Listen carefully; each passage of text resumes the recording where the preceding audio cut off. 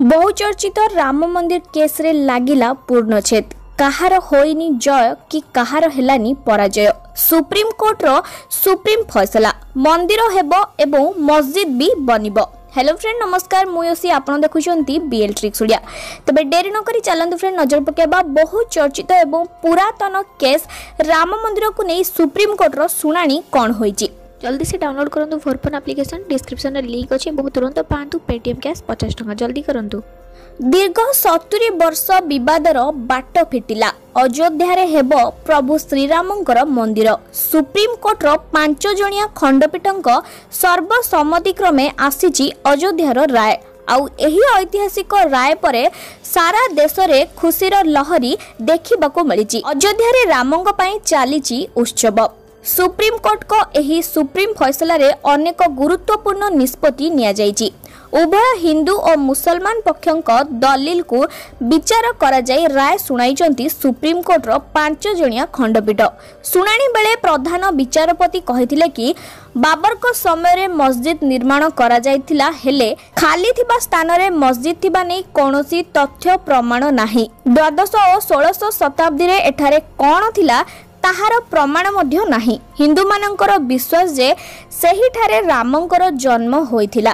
ସେହିପରି ସୁନ୍ନି ବୋର୍ଡ ବିରୋଧରେ ସିଆ ୱାକଫ ବୋର୍ଡ ଆବେଦନ ଖାରଜ ମଧ୍ୟ କରାଯାଇଛି। ଏପରିକି ନିର୍ମୋହି ଆଖଡ଼ା ଉପରେ ସେବାୟତଙ୍କ ଅଧିକାର ନାହିଁ ବୋଲି ପ୍ରଧାନ ବିଚାରପତି କହିଛନ୍ତି। ଆଉ ରାଜସ୍ୱ ବିଭାଗ ରେକର୍ଡରେ ବିବାଦୀୟ ଜମି ଉପରେ ସରକାରଙ୍କର ସ୍ୱତ୍ୱାଧିକାର ରହିଛି। ଅଯୋଧ୍ୟାର ରାମଙ୍କର ଜନ୍ମଭୂମିକୁ ନେଇ ବିବାଦ ନାହିଁ।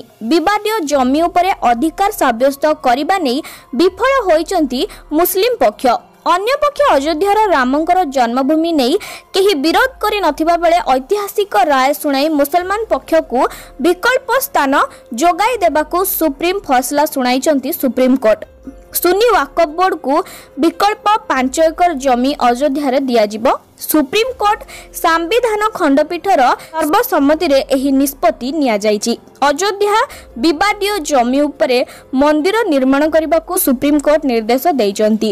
ମନ୍ଦିର ତିଆରି ପାଇଁ ଗଠନ ଏକ ଟ୍ରଷ୍ଟ ଗଠନ କରିବାକୁ ଉଭୟ କେନ୍ଦ୍ର ଓ ରାଜ୍ୟ ସରକାରଙ୍କୁ ପରାମର୍ଶ ଦେଇଛନ୍ତି ସୁପ୍ରିମକୋର୍ଟ ତିନି ମାସ ଭିତରେ ଏକ ବୋର୍ଡ ତିଆରି କରିବେ କେନ୍ଦ୍ର ସରକାର। ଆଉ ଏହି ଟ୍ରଷ୍ଟ ବୋର୍ଡରେ ନିର୍ମୋହି ଆଖଡ଼ା ପକ୍ଷର ପ୍ରତିନିଧିମାନେ ରହିବେ ଏବଂ ଟ୍ରଷ୍ଟ ବୋର୍ଡକୁ ବିବାଦୀୟ ଜମି ହସ୍ତାନ୍ତର କରିବେ କେନ୍ଦ୍ର ସରକାର। ତେବେ ବହୁ ଚର୍ଚ୍ଚିତ ଏବଂ ସତୁରି ବର୍ଷ ପୁରୁଣା କେସ୍କୁ ତିରିଶ ମିନିଟ୍ରେ ଶେଷ କରିଛନ୍ତି ସୁପ୍ରିମକୋର୍ଟ ଏବଂ ସୁପ୍ରିମ ରାୟ ଶୁଣାଇଛନ୍ତି। ମୁସଲିମମାନଙ୍କ ପାଇଁ ଯେଉଁ ବାବରି ମସଜିଦକୁ ନେଇକି ବିବାଦୀୟ ଚାଲିଥିଲା ତାର ମଧ୍ୟ ଫଇସଲା ହେଇଛି ଯେ ପାଞ୍ଚ ଏକର ଜମି ତାଙ୍କୁ ଦିଆଯିବ ଯାହାଫଳରେ କି ସେମାନେ ମଧ୍ୟ ମସଜିଦ ତିଆରି କରିବେ।